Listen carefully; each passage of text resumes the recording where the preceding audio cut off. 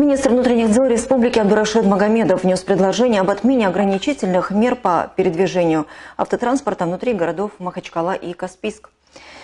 Руководством Дагестана предложение было поддержано. Так, с сегодняшнего дня все контрольно-заградительные пункты внутри Махачкалы были сняты. Передвижение между столицей Дагестана и Каспийском тоже не будет больше ограничиваться сотрудниками дорожно-патрульной службы.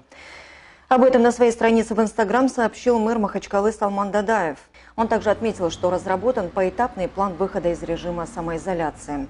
Руководство города ежедневно проводит мониторинг ситуации, ведет консультации с Роспотребнадзором и главврачами медучреждений.